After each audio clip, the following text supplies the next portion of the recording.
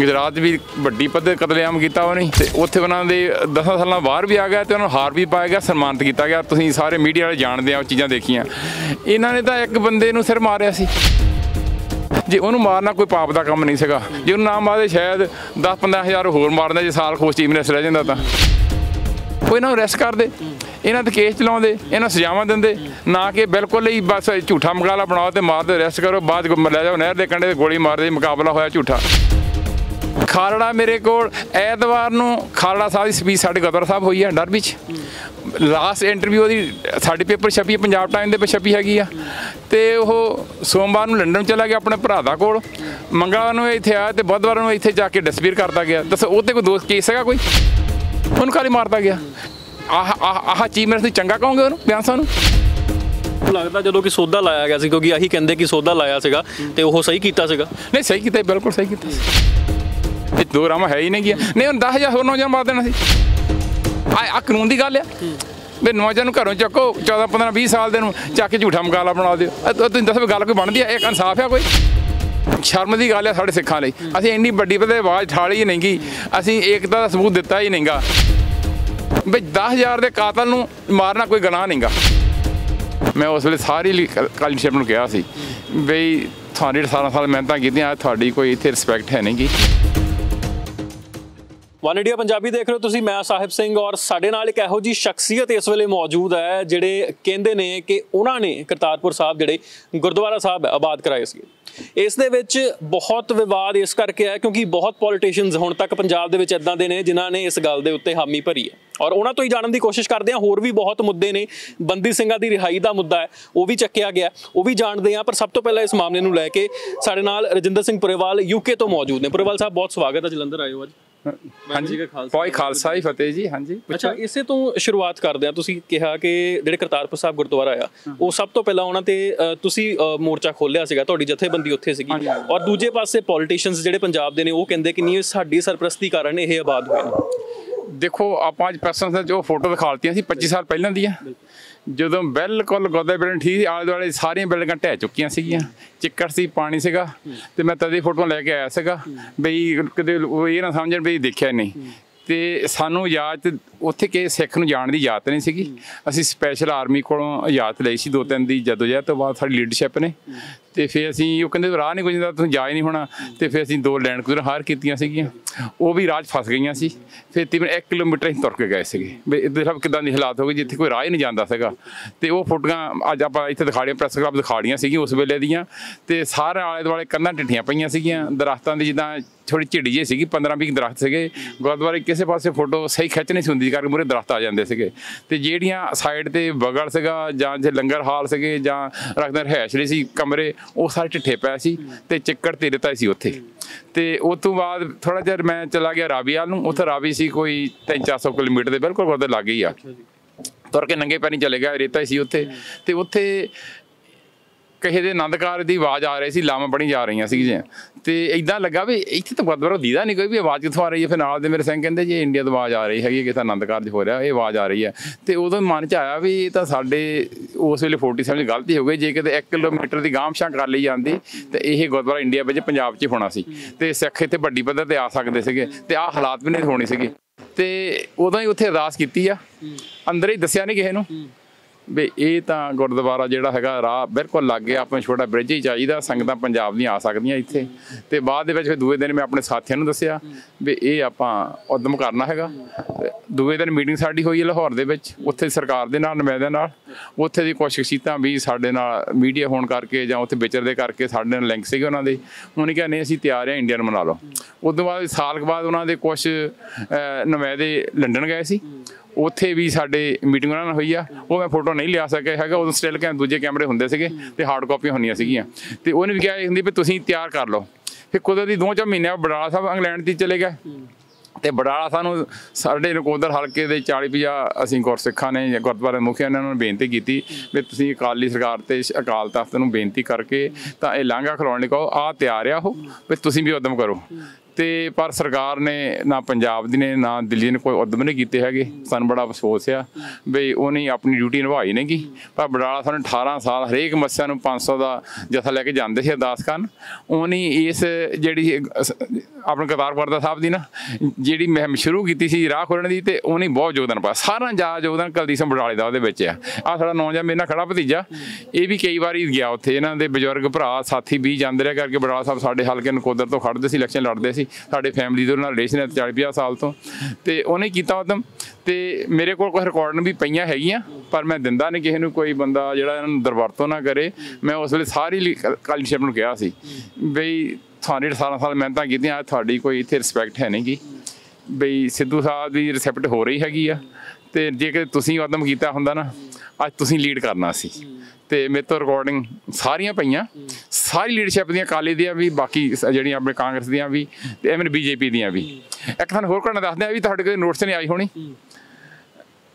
ਆਪਣੇ ਰਾਏਬਲਾਰ ਪਰਿਵਾਰ ਨੂੰ ਤੇ ਮੈਂ ਆਪਾਂ ਸਾਰੇ ਜਾਣਦੇ ਤੁਸੀਂ ਸਾਰੇ ਇਤਿਹਾਸਕਾਰ ਜਾਣਦੇ ਮੀਡੀਆ ਵਾਲੇ ਵੀ ਜਾਣਦਾ। ਉਹਨਾਂ ਦੀ 19ਵੀਂ ਪੀੜ੍ਹੀ ਨੇ ਮੈਨੂੰ ਰਾਤ ਨੂੰ ਕੰਪਲੇਨ ਕੀਤੀ ਵੀ ਸਾਨੂੰ ਹਰਮਨ ਸਾਹਿਬ ਦਰਸ਼ਨ ਕਰਨ ਦਿੱਤੇ ਜਾਂਦੇ।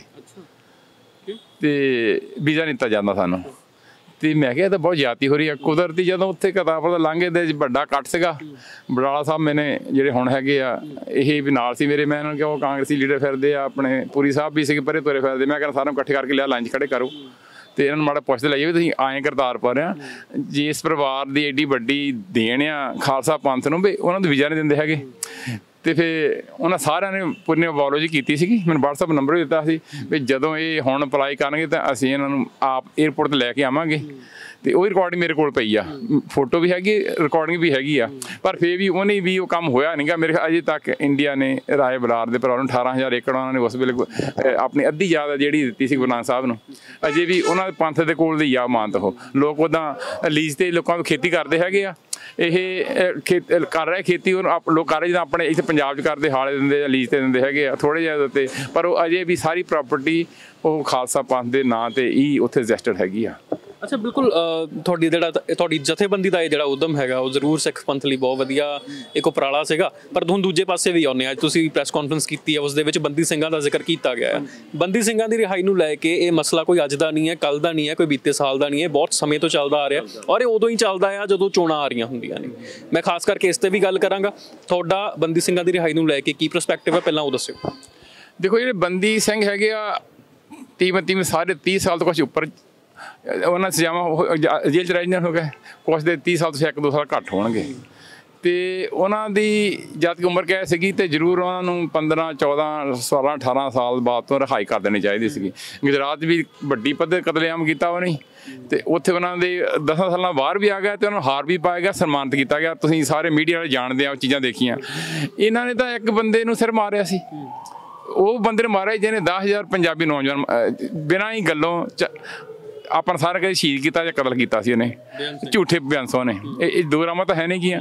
ਜੇ ਉਹਨੂੰ ਮਾਰਨਾ ਕੋਈ ਪਾਪ ਦਾ ਕੰਮ ਨਹੀਂ ਸੀਗਾ। ਜੇ ਉਹਨੂੰ ਨਾ ਮਾਰਦੇ ਸ਼ਾਇਦ 10 15000 ਹੋਰ ਮਾਰਦੇ ਜੇ ਸਾਲ ਖੋਜ ਚੀਫ ਮਿਨਿਸਟਰ ਰਹਿ ਜਾਂਦਾ ਤਾਂ। ਮੈਨੂੰ ਪਤਾ ਕਈਆਂ ਨੇ ਇਹ ਗੱਲਾਂ ਪਸੰਦ ਨਹੀਂ ਹੋਣੀਆਂ। ਆਪਾਂ ਹੁਣ ਸਾਰਿਆਂ ਨੂੰ ਪਤਾ ਕਿੰਨੇ ਪੁਲਿਸ ਤੇ ਕੇਸ ਚੱਲਦੇ ਆ। ਕੁਛ ਤਾਂ ਵਿਚਾਰੇ ਕੇਸ ਕਰਨ ਵਾਲੇ ਚੜਾਏ ਕਰ ਗਿਆ, ਕਈ ਪੁਲਿਸ ਵਾਲੇ ਵੀ ਚੜਾਈ ਕਰ ਗਏ ਹੈਗੇ ਆ। ਇਹਨਾਂ ਨੇ ਨਾ ਥੋੜਾ ਜਿਹਾ ਪਤਾ ਨਹੀਂ ਖੂਨ ਜਿੱਦਾਂ ਕਹਿੰਦੇ ਨਾ ਲੱਗ ਜਾ ਕੁੱਤੇ ਦੇ ਮੁੰਨ ਤੇ ਇਹਨਾਂ ਨੇ ਇਹਨਾਂ ਨੌਜਵਾਨਾਂ ਨੇ ਬਿਨਾਂ ਹੀ ਗੱਲੋਂ ਸਰਕਾਰ ਦਾ ਫਰਜ਼ ਹੈਗਾ ਇੱਥੇ ਕਾਨੂੰਨ ਦੀ ਹਾਲਤ ਸੁਧਾਰਨ ਦਾ। ਉਹ ਇਹਨਾਂ ਨੂੰ ਅਰੈਸਟ ਕਰਦੇ, ਇਹਨਾਂ ਤੇ ਕੇਸ ਚਲਾਉਂਦੇ, ਇਹਨਾਂ ਸਜ਼ਾਵਾਂ ਦਿੰਦੇ, ਨਾ ਕਿ ਬਿਲਕੁਲ ਹੀ ਬਸ ਝੂਠਾ ਮੁਕਾਬਲਾ ਬਣਾਓ ਤੇ ਮਾਰ ਦੇ ਅਰੈਸਟ ਕਰੋ, ਬਾਅਦ ਲੈ ਜਾਓ ਨਹਿਰ ਦੇ ਕੰਢੇ ਤੇ ਗੋਲੀ ਮਾਰ ਦੇ, ਮੁਕਾਬਲਾ ਹੋਇਆ ਝੂਠਾ। ਇਹ ਐਡੀ ਵੱਡੀ ਪੱਧਰ ਤੇ ਤੇ ਇਹ ਮੇਰੇ ਖਿਆਲ ਨੌਜਵਾਨ ਜੋ ਸੇਵਾ ਕੀਤੀ ਆ ਨਾ ਉਹ ਸ਼ਰਾਂਗਾ ਜੋ ਗਿਆ ਉਹਨਾਂ ਨੂੰ ਸਜ਼ਾ ਮਿਲਣੀ ਚਾਹੀਦੀ 14 18 20 ਸਾਲ ਦੀ ਦੇਣ ਦੇ ਤੇ ਹੁਣ ਉਹ ਰਿਹਾ ਹੋਣੇ ਚਾਹੀਦੇ ਸੀਗੇ। ਤਾਂ ਥੋੜਾ ਜਿਹਾ ਇਨਸਾਫ ਦੀ ਆਪਾਂ ਇੱਥੋਂ ਆਸ ਰੱਖ ਸਕਦੇ ਸੀਗੇ। ਬੇਅੰਤ ਸਿੰਘ ਕਤਲ ਮਾਮਲੇ ਦੀ ਗੱਲ ਕਰਦੇ ਆ ਨਾ ਇਸ ਇੱਕ ਨੈਰੇਟਿਵ ਬਣਿਆ ਹੋਇਆ ਹੈ ਜਿਹੜਾ ਹੁਣ ਤੱਕ ਚੱਲਦਾ ਆ ਰਿਹਾ ਹੈ ਔਰ ਉਹਨੂੰ ਉਸੇ ਤਰ੍ਹਾਂ ਚਲਾਇਆ ਜਾ ਰਿਹਾ ਹੈ ਕਿ ਸੀਐਮ ਦੀ ਸੀਐਮ ਦਾ ਕਤਲ ਕਰ ਦਿੱਤਾ ਗਿਆ। ਸੀਐਮ ਦਾ ਕਤਲ ਕਰ ਦਿੱਤਾ ਗਿਆ ਬੜਾ ਚੰਗਾ ਸੀਐਮ ਸੀ। ਤੁਸੀਂ ਕਿਸ ਤਰ੍ਹਾਂ ਦੇਖੋ ਦੇਖੋ ਨਾ ਹਰੇਕ ਹੀ ਮੈਂ ਤਾਂ ਛੋਟਾ ਬੱਚਾ ਚਾਹੇ ਬੀਬੀ ਹੈ ਚਾਹੇ ਬਜ਼ੁਰਗ ਹੈ ਮੈਂ ਸਾਰੇ ਰਿਸਪੈਕਟ ਦਾ ਜਾਨ ਸਾਰਿਆਂ ਦੀ ਇੱਕੋ ਜਿਹੀ ਸਾਰੇ ਦੇ ਉਹਨਾਂ ਨੂੰ ਪਰਿਵਾਰ ਸਾਰਿਆਂ ਨੂੰ ਪਰਿਵਾਰ ਕਰਦਾ ਹੈਗਾ। ਚਲੋ ਆਪਾਂ ਸਮਝੋ ਚੰਗਾ ਸੀ। ਖਾਲੜਾ ਮੇਰੇ ਕੋਲ, ਐਤਵਾਰ ਨੂੰ ਖਾਲੜਾ ਸਾਹਿਬ ਦੀ ਸਪੀਚ ਸਾਡੇ ਗੁਰਦੁਆਰਾ ਸਾਹਿਬ ਹੋਈ ਹੈ ਡਰਬੀ ਚ। ਲਾਸਟ ਇੰਟਰਵਿਊ ਉਹਦੀ, ਸਾਡੇ ਪੇਪਰ ਛਪੀ ਪੰਜਾਬ ਟਾਈਮ ਦੇ ਵਿੱਚ ਛਪੀ ਹੈਗੀ ਆ। ਤੇ ਉਹ ਸੋਮਵਾਰ ਨੂੰ ਲੰਡਨ ਚਲਾ ਗਿਆ ਆਪਣੇ ਭਰਾ ਦਾ ਕੋਲ। ਮੰਗਲਵਾਰ ਨੂੰ ਇੱਥੇ ਆਇਆ ਤੇ ਬੁੱਧਵਾਰ ਨੂੰ ਇੱਥੇ ਜਾ ਕੇ ਡਿਸਪੀਅਰ ਕਰਤਾ ਗਿਆ। ਦੱਸੋ ਉਹ ਤੇ ਕੋਈ ਦੋਸਤ ਕੇਸ ਹੈਗਾ ਕੋਈ? ਉਹਨੂੰ ਕਾਲੀ ਮਾਰਦਾ ਗਿਆ? ਆਹ ਆਹ ਆਹ ਚੀਜ਼ ਮੇਰੇ ਤੋਂ ਚੰਗਾ ਕਹੋਗੇ ਉਹਨੂੰ, ਬਿਆਨ ਸਾਨੂੰ ਕਿਹੜਾ ਇਨਸਾਫ ਕੀਤਾ ਉਹਨੇ? ਉਹਨੂੰ ਪਤਾ ਨਹੀਂ ਕਿੰਨਾ ਟੌਰਚਰ ਕਰ ਕਰਕੇ ਉਹਦੀ ਲਾਸ਼ ਵੀ ਨਹੀਂ ਦਿੱਤੀ ਪਰਿਵਾਰ ਨੂੰ। ਕਿੰਨੇ ਬੱਚੇ ਇਹਨਾਂ ਨੇ ਜਿਹੜੇ ਝੂਠ ਮਾਰੇ ਉਹਨਾਂ ਲਾਸ਼ਾਂ ਵੀ ਨਹੀਂ ਪਰਿਵਾਰਾਂ ਨੂੰ ਦਿੱਤੀਆਂ। ਇਦਾਂ ਦਾ ਤਾਂ ਕਰੂਅਲ ਬੰਦਾ ਮੈਂ ਤਾਂ ਸੋਚ ਨਹੀਂ ਸਕਦਾ ਵੀ ਸਿੱਖ ਹੁੰਦਾ ਹੋਇਆ ਇਦਾਂ ਦਾ ਹੋਊਗਾ। ਸਿੱਖ ਹੋਵੇ ਤੇ ਉਹ ਲੋਕਾਂ ਦੇ ਬੱਚਿਆਂ ਨੂੰ ਉਹਦੇ ਮਰ ਜੇ ਹਾਂ ਕੇਸ ਚਲਾਓ ਜੇਲ੍ਹ ਕਰ ਦਿਓ ਠੀਕ ਆ। ਜਿਹੜਾ ਬੱਚਾ ਲੱਗਦਾ ਆ ਵੀ ਕਾਨੂੰਨ ਦੀ ਉਲੰਘਣਾ ਕਰ ਰਿਹਾ ਸਜ਼ਾ ਮਿਲਣੀ ਚਾਹੀਦੀ ਕੋਈ ਵੀ ਹੋਵੇ ਸ਼ੱਕ ਚਾਹੇ ਸਿੱਖ ਆ ਹਿੰਦੂ ਆ ਕੋਈ ਵੀ ਹੋਵੇ। ਉਹ ਬਿਲਕੁਲ ਉਹਨੇ ਜੋ ਕੀਤਾ ਨਾ ਪਤਾ ਨਹੀਂ ਮੈਨੂੰ ਲੱਗਦਾ ਕੋਈ ਪ੍ਰਾਰਥਨਾ ਜਿੱਦਾਂ ਕਹਿੰਦੇ ਹੁੰਦੇ ਆ ਉਹ ਉਹ ਰੰਗਜੇ ਵਾਲੀ ਰੂਹ ਦੇ ਵਿੱਚ ਕਦੇ ਆ ਗਈ ਤੇ ਉਹ ਜਿਸ ਤਰ੍ਹਾਂ ਫੈਸਲੇ ਕੀਤੇ ਹੈਗੇ ਮੈਂ ਉਹ ਜੋ ਉਹਨੇ ਕੀਤਾ ਹੈਗਾ ਮੈਂ ਬਿਲਕੁਲ ਨਾਲ ਸਹਿਮਤ ਨੇ ਕੜਮ ਕਰਦੇ ਆ ਜੋ ਨੌਜਵਾਨ ਨੇ ਕੀਤਾ ਮੈਂ ਕਹਿੰਦਾ ਵੀ ਠੀਕ ਕੀਤਾ। ਮੈਨੂੰ ਲੱਗਦਾ ਜਦੋਂ ਕਿ ਸੋਧਾ ਲਾਇਆ ਗਿਆ ਸੀ ਕਿਉਂਕਿ ਆਹੀ ਕਹਿੰਦੇ ਕਿ ਸੋਧਾ ਲਾਇਆ ਸੀਗਾ ਤੇ ਉਹ ਸਹੀ ਕੀਤਾ ਸੀਗਾ? ਨਹੀਂ ਸਹੀ ਕੀਤਾ ਬਿਲਕੁਲ ਸਹੀ ਕੀਤਾ ਸੀ। ਇਹ ਦੋ ਰਾਮਾ ਹੈ ਹੀ ਨਹੀਂ ਗਿਆ। ਨਹੀਂ ਹੁਣ 10000 ਹੋਰ ਨੌਜਵਾਨ ਮਾਰ ਦੇਣਾ ਸੀ। ਜੇ ਇੱਕ ਸਾਲ ਦੇ 10000 ਮਾਰ ਸਕਦਾ ਜੇ ਦੋ ਤਿੰਨ ਸਾਲ ਚੀਨ ਦੇ ਪਤਾ ਨਹੀਂ ਕਿੰਨੇ ਨੌਜਵਾਨ ਮਾਰ ਦੇਣੇ ਸੀ। ਇਹ ਐਡਾ ਵੱਡੀ ਆ ਕਾਨੂੰਨ ਦੀ ਗੱਲ ਆ। ਵੀ ਨੌਜਵਾਨ ਨੂੰ ਘਰੋਂ ਚੱਕੋ 14 15 20 ਸਾਲ ਦੇ ਨੂੰ ਚੱਕ ਕੇ ਝੂਠਾ ਮਕਾਲਾ ਬਣਾ ਦਿਓ। ਤੁਸੀਂ ਦੱਸੋ ਵੀ ਗੱਲ ਕੋਈ ਬਣਦੀ ਆ ਇਹ ਇਨਸਾਫ ਆ ਕੋਈ? ਨਹੀਂ ਅਰੈਸਟ ਕਰਦੇ ਜੇ, ਲੱਗਦਾ ਸੀ ਬੱਚਾ ਉਹਨੂੰ 6 ਮਹੀਨੇ ਦੀ, ਸਾਲ ਦੀ 5 ਸਾਲ ਦੀ 10 ਸਾਲ ਦੀ ਵੀ ਸਾ ਸਜ਼ਾ ਦਿੰਦੇ ਜੇ ਕਿਸੇ ਨੇ ਕ੍ਰਾਈਮ ਕੀਤਾ ਸੀ ਤਾਂ। ਆ ਜੋ ਕੁਝ ਕੀਤਾ ਉਹਨੇ, ਬਿਲਕੁਲ ਹੀ ਉਹ ਤਾਂ ਉਹ ਮੁਗਲਾਂ ਵਾਲੇ ਰਾਜ ਵਾਲੀ ਗੱਲ ਹੋ ਗਈ ਸੀਗੀ ਵੀ ਸਿੱਖੀ ਦਾ ਖੁਰਾ ਖੋਜ ਖਤਮ ਕਰਨਾ ਹੈਗਾ। ਪਰ ਜੇ ਨੌਜਵਾਨ ਨੇ ਸਵਾਵਾ ਜਿਹੜੀਆਂ ਕੀਤੀਆਂ ਹੈਗੀਆਂ, ਮੈਨੂੰ ਕੋਈ ਇਦਾਂ ਦੀ ਗੱਲ, ਨਾਲੇ ਉਹ ਆਪਣੀ ਸਜ਼ਾ ਭੁਗਤ ਰਹੇ ਆ, ਉਹ ਕੋਈ ਭੁਗਤ ਵੀ ਲਈ ਆ। ਕਾਨੂੰਨ ਦੇ ਤੌਰ ਤੇ ਉਹਨਾਂ ਨੇ ਆਪਣੀ ਜਿਹੜੀ ਹੈਗੀ ਆ, ਹੁਣ 30 ਸਾਲ ਤਾਂ ਜ਼ਿਆਦਾ ਹੈ ਨਾ। ਇੰਨੀ ਤਾਂ ਨਹੀਂ ਹੋਣੀ ਚਾਹੀਦੀ ਨਾ। ਅਜੇ ਵੀ ਜੇ ਉਹ ਜੇ ਉਹ ਗਲਤ ਆ, ਲੱਗਦਾ ਉਹਨਾਂ ਨੂੰ ਵੀ ਹਵਾਰਾ ਸਾਹਿਬ ਜਾਂ ਸਾਥੀ ਜਿਹੜੇ ਗਲਤ ਆ, ਲੋਕ ਤਾਂ ਅਜੇ ਉਹਨਾਂ ਦੀ ਫੋਟੋ ਘਰਾਂ 'ਚ ਲਾਈ ਬੈਠੇ ਆ। ਸਾਰੀ ਦੁਨੀਆ ਤੇ ਉਹਦੀ ਯਾਦ ਦੇ ਵਿੱਚ ਗੁਰਦੁਆਰੇ ਪੋਸਟਰ ਲੱਗੇ ਆ, ਜਾਂ ਕਿਤੇ ਵੀ ਰੋਸਮਿਆਰਾ ਹੁੰਦੇ ਉਹਨਾਂ ਦੇ ਨਾਂ ਹੁੰਦੇ ਆ। ਕੌਮ ਸਾਰੀ ਤਾਂ ਉਹਨਾਂ ਨੂੰ ਹੀਰੋ ਸਮਝਦੀ ਆਪਣੇ। ਤੇ ਤੇ- ਉਹ ਕਹਿ ਰਿਹਾ ਨਹੀਂ ਜੀ ਛੱਡਣੇ ਨਹੀਂ ਗੇ ਬਿਲਕੁਲ ਬੇਇਨਸਾਫੀ ਹੋ ਰਹੀ ਆ। ਅੱਛਾ ਗੁਰੇਵਾਲ ਸਾਹਿਬ ਸਮੇਂ ਦੀ ਕਮੀ ਹੈ। ਮੈਂ ਆਖਰੀ ਸਵਾਲ ਤੁਹਾਨੂੰ ਪੁੱਛਣਾ ਚਾਹੁੰਦਾ ਆ ਹਾਲ ਹੀ ਦੇ ਵਿੱਚ ਇੱਕ ਚਿੱਠੀ ਦਾ ਜ਼ਿਕਰ ਹੁੰਦਾ ਆ। ਬਲਵੰਤ ਸਿੰਘ ਰਾਜੋਆਣਾ ਚਿੱਠੀ ਭੇਜਦੇ ਆ ਐਸਜੀਪੀਸੀ ਨੂੰ ਮੁਖਾਤਬ ਹੁੰਦੇ ਆ ਅਕਾਲ ਤਖਤ ਨੂੰ ਹੁੰਦੇ ਆ ਔਰ ਨਾਲ ਦੀ ਨਾਲ ਦਿੱਲੀ ਕਮੇਟੀ ਨੂੰ ਵੀ ਹੁੰਦੇ ਆ। ਸਾਰੀਆਂ ਸਿੱਖ ਜਥੇਬੰਦੀਆਂ ਨੂੰ ਹੁੰਦੇ ਆ। ਉਹਨਾਂ ਨੇ ਸਾਫ਼ ਕਹਿ ਦਿੱਤਾ ਕਿ ਜੇ ਇੰਨੇ ਸਾਲ ਤੱਕ ਮੇਰੇ ਬਾਰੇ ਕੁਝ ਨਹੀਂ ਕੀਤਾ ਗਿਆ ਤਾਂ ਹੁਣ ਛੱਡ ਦਿੱਤਾ ਜਾਵੇ ਭੁੱਖ ਹੜਤਾਲ ਕੀਤੀ ਜਾਵੇਗੀ। ਜੇ ਨਹੀਂ ਉਹ ਪਟੀਸ਼ਨ ਵਾਪਸ ਲਈ ਜਾਵੇਗੀ। ਤੁਹਾਨੂੰ ਕੀ ਲੱਗਦਾ ਕਿ ਉਹ ਜਿਹੜੀ ਚਿੱਠੀ ਭੇਜੀ ਗਈ ਸੀ ਉਸ ਤੋਂ ਬਾਅਦ ਹੀ ਐਕਟਿਵ ਹੋਏ ਨੇ? ਕਿਉਂਕਿ ਉਸ ਤੋਂ ਬਾਅਦ ਐਸਜੀਪੀਸੀ ਨੂੰ ਕਿਤੇ ਨਾ ਕਿਤੇ ਆਪਣੀ ਹੋਂਦ ਦੇ ਉੱਤੇ ਖਤਰਾ ਦੇਖ ਗਿਆ ਸੀ? ਮੈਂ ਸ਼੍ਰੋਮਣੀ ਕਮੇਟੀ ਨੂੰ ਤੇ ਮੇਰੇ ਖਿਆਲ ਉਹਨੇ ਸਾਈਨ ਜਿਹੜੇ ਕਰਾਏ ਆ ਨਾ 26 27 ਲੱਖ ਤੇ ਕਰਾਏ ਹੈਗੇ ਆ। ਉਹ ਤਾਂ ਉਹਨੇ ਸਾਲ ਪਹਿਲਾਂ ਕਰਾਏ ਆ। ਆ ਚਿੱਠੀ ਤਾਂ ਆਏ ਨੂੰ ਅਜੇ ਕੁਝ ਵੀਕਾਂ ਹੀ ਹੋਈਆਂ ਨਾ। ਇਸ ਤੋਂ ਪਹਿਲਾਂ ਵੀ ਇੱਕ ਵਾਰੀ ਆ ਚੁੱਕੀ ਚਿੱਠੀ। ਤੇ ਚਲੋ ਉਹ ਉਹ ਵੀ ਜਿਹੜਾ ਹੁਣ ਨਾ ਤਾਂ ਉਦੋਂ ਤਾਂ ਕਹਿੰਦੇ ਉਹਨੂੰ ਫਾਂਸੀ ਦੇ ਦਿਓ। ਫਾਂਸੀ ਵੀ ਨਹੀਂ ਦਿੰਦੇ। ਉਹਨੂੰ ਛੋਟੀ ਜਿਹੀ ਕੋਠੀ ਦੇ ਵੀ ਬੰਦ ਕੀਤਾ ਆ। ਇਹ ਕਿਹੜੇ ਸਾਫੀਆ ਤਾਂ ਕਹਿੰਦਾ ਦੇ ਦੇ ਫਾਂਸੀ? ਤੇ ਹੁਣ ਉਹ ਇਹ ਸ਼੍ਰੋਮਣੀ ਕਹਿ ਰਿਹਾ ਹੈਗਾ ਵੀ ਤੁਸੀਂ ਇੱਕ ਪਾਸੇ ਤਾਂ ਮੇਰੀ ਜਿਹੜੀ ਮੇਰੀ ਚਿੱਠੀ ਵਾਪਸ ਲਾਓ ਵੀ ਫਾਂਸੀ ਮੈਨੂੰ ਹੋਣੀ ਚਾਹੀਦੀ ਹੈਗੀ। ਵੀ ਮੈਨੂੰ ਸ਼ਹੀਦ ਹੋਣ ਦਿਓ ਠੀਕ ਹੈ ਜੇ ਮਾਰਨਾ ਚਾਹੁੰਦੇ ਮਾਰ ਲੈਣ। ਇਹ- ਜਿਹੜੀ ਹੈਗੀ ਆ ਨਾ ਸਾਨੂੰ ਵੀ ਸਾਡੇ ਲਈ ਸ਼ਰਮ ਦੀ ਗੱਲ ਆ ਸਾਡੇ ਸਿੱਖਾਂ ਲਈ। ਅਸੀਂ ਇੰਨੀ ਵੱਡੀ ਪਤੇ ਆਵਾਜ਼ ਠਾਲੀ ਨਹੀਂ ਗਈ ਅਸੀਂ ਏਕਤਾ ਦਾ ਸਬੂਤ ਦਿੱਤਾ ਹੀ ਨਹੀਂਗਾ। ਵੀ 10000 ਦੇ ਕਾਤਲ ਨੂੰ ਮਾਰਨਾ ਕੋਈ ਗੁਨਾਹ ਨਹੀਂਗਾ। ਜੇ ਉਹ ਜਿੰਦਾ ਰਹਿੰਦਾ ਪਤਾ ਨਹੀਂ ਹੋਰ ਕਿੰਨੇ ਨੇ ਮਾਰਨੇ ਸੀ। ਪਤਾ ਨਹੀਂ ਕਿੰਨੇ ਨੌਜਵਾਨਾਂ ਨੇ ਬਚਾਤੇ ਆ ਕਈਆਂ ਦੇ ਨਹੀਂ ਜਿਹੜੇ ਘਰਾਂ ਦੇ ਬੱਚੇ ਜਿਹੜੇ ਆ ਉਹਨੇ ਲਾਪਤਾ ਕਰ ਦੇਣੇ ਸੀਗੇ। ਕੋਈ ਮਾੜਾ ਕੰਮ ਨਹੀਂ ਕੀਤਾ ਹੋਇਆ ਠੀਕ ਆ। 2007 ਦੇ ਵਿੱਚ ਐਸਜੀਪੀਸੀ ਨੇ ਇੱਕ ਅਪੀਲ ਕੀਤੀ ਸੀਗੀ। ਉਹ ਰਾਸ਼ਟਰਪਤੀ ਨੂੰ ਚਿੱਠੀ ਭੇਜੀ ਸੀਗੀ। ਉਸ ਤੋਂ ਬਾਅਦ ਜਿਹੜੀ ਹੈ ਉਹਨਾਂ ਦੀ ਸਜ਼ਾ ਫਾਂਸੀ ਦੀ ਸੀਗੀ ਉਹ ਰੋਕ ਦਿੱਤੀ ਗਈ ਸੀ। ਪਰ 2007 ਤੋਂ ਬਾਅਦ ਅਜੇ ਤੱਕ ਉਹਨਾਂ ਨੂੰ ਰਿਹਾਈ ਨਹੀਂ ਕੀਤਾ ਗਿਆ। ਕੁਝ ਕੀਤਾ ਕੋਈ ਇੰਪਲੀਮੈਂਟੇਸ਼ਨ ਹੀ ਨਹੀਂ ਹੋਈ। ਇਹ ਹੀ ਤਾਂ ਰੋਸ ਆ। ਇਸੇ ਰੋਸ ਲਈ ਅਸੀਂ ਚਾਹੁੰਦੇ ਆ ਵੀ ਸਾਰਾ ਜਿਹੜੇ ਆ ਵੀ ਇਹ ਸਿੱਖ ਪੰਥ ਵੀ ਤੇ ਹੋਰ ਜਿੰਨੇ ਵੀ ਹਿਊਮਨ ਰਾਈਟਸ ਦੇ ਜਿਹੜੇ ਵੀ ਸੰਸਥਾਵਾਂ ਹੋਰ ਦੇਸ਼ਾਂ ਵਿਦੇਸ਼ਾਂ ਕਰਦੀਆਂ ਹੈਗੀਆਂ, ਉਹਨਾਂ ਦਾ ਸਹਿਯੋਗ ਲਿਆ ਜਾਵੇ। ਹਰੇਕ ਗੁਰਦੁਆਰੇ ਵਿੱਚ ਕਨਵੈਨਸ਼ਨਾਂ ਹੋਣ, ਉੱਥੇ ਬੁੱਧੀਜੀਵੀ ਹਿਊਮਨ ਰਾਈਟ ਦੇ ਬੁਲਾਰੇ ਤੇ ਲੋਕਲ ਉਹਨਾਂ ਪਾਰਲੀਮੈਂਟ ਦੇ ਇੰਗਲੈਂਡ ਅਸੀਂ ਰਹਿੰਦੇ, ਕੈਨੇਡਾ, ਅਮਰੀਕਾ, ਆਸਟ੍ਰੇਲੀਆ ਦੇ ਵਿੱਚ, ਯੂਰਪ ਦੇ ਵਿੱਚ, ਬਹੁਤ ਸਾਰੇ ਕੰਟਰੀਆਂ ਦੇ ਵਿੱਚ ਬਹੁਤ ਸੋਹਣੇ ਰਿਲੇਸ਼ਨ ਆ। ਆਪਣੇ ਬੱਚੇ ਵੀ ਕਈ ਜਿਹੜੇ ਉੱਥੇ ਪਾਰਲੀਮੈਂਟ ਮੈਂਬਰ ਹੈਗੇ ਆ ਤੇ ਸਾਡੇ ਲਾਗੇ ਵੀ ਆ। ਤੇ ਅਸੀਂ ਚਾਹੁੰਦੇ ਉਹਨਾਂ ਤੱਕ ਵੀ ਇਹ ਆਵਾਜ਼ ਵੱਡੀ ਪਤੇ ਪਹੁੰਚਣੀ ਚਾਹੀਦੀ ਹੈਗੀ ਆ, ਵੀ ਹਰੇਕ ਗੁਰਦੁਆਰਾ ਸਾਹਿਬ ਕਨਵੈਨਸ਼ਨ ਹੋਵੇ ਹਿਊਮਨ ਰਾਈਟ ਦੇ ਉੱਤੇ ਹੋਵੇ, ਜੋ ਜਿਆਤੀਆਂ ਹੋਈਆਂ, ਤਾਂ ਜੋ ਵਰਲਡ ਲੈਵਲ ਦੇ ਉੱਤੇ ਸਾਰੀਆਂ ਗਵਰਨਮੈਂਟਾਂ ਤੱਕ ਉਹ ਮੈਸੇਜ ਆਵੇ ਤੇ ਗਵਰਨਮੈਂਟ ਜਿਹੜੀ ਥੋੜਾ ਬਹੁਤਾ ਆਪਣਾ ਜਿਹੜਾ ਫੈਸਲੇ ਨੂੰ ਚੇਂਜ ਕਰਕੇ ਤੇ ਉਹਨਾਂ ਨੂੰ ਰਿਹਾਈ ਕਰੇ। ਠੀਕ, ਬਹੁਤ ਸ਼ੁਕਰੀਆ। ਤਾਂ ਬਿਲਕੁਲ ਸਾਡੇ ਨਾਲ ਰਜਿੰਦਰ ਸਿੰਘ ਪੁਰੇਵਾਲ ਯੂਕੇ ਤੋਂ ਮੌਜੂਦ ਸੀ, ਉਹਨਾਂ ਨੇ ਸਾਰੀ ਜਾਣਕਾਰੀ ਦਿੱਤੀ ਹੈ ਔਰ ਲਗਾਤਾਰ ਇਹੀ ਕੀਤਾ, ਕੋਸ਼ਿਸ਼ ਜਾਰੀ ਹੈ ਕਿ ਹੁਣ ਤੱਕ ਜਿਹੜੇ ਬੰਦੀ ਸਿੰਘ ਨੇ, ਉਹਨਾਂ ਨੂੰ ਰਿਹਾ ਕੀਤਾ ਜਾਵੇ। ਐਨੇ ਸਾਲ ਲੰਘ ਚੁੱਕੇ ਨੇ, ਬੰਦੀ ਸਿੰਘ ਜੇਲ੍ਹਾਂ 'ਚ ਸੜਦੇ ਪਏ ਨੇ। ਪਰ ਉਹਨਾਂ ਨੂੰ ਰਿਹਾ ਕਰਨ ਵਾਸਤੇ ਕੋਈ ਵੀ ਅੱਗੇ ਨਹੀਂ ਆ ਰਿਹਾ ਖੈਰ, ਕਦ ਤੱਕ ਇਹ ਸਿਲਸਿਲਾ ਰਹੇਗਾ, ਚੋਣਾਂ ਤੱਕ ਹੀ ਇਹ ਰਹੇਗਾ ਜਾਂ ਇਸ ਤੋਂ ਬਾਅਦ ਅੱਗੇ ਵੀ ਵਧੇਗਾ, ਦੇਖਣਾ ਹੋਵੇਗਾ, ਉਦੋਂ ਤੱਕ ਲਈ ਬਣੇ ਰੋਵਾਨ ਇੰਡੀਆ ਪੰਜਾਬੀ ਦੇ Subscribe to One India channel and never miss an.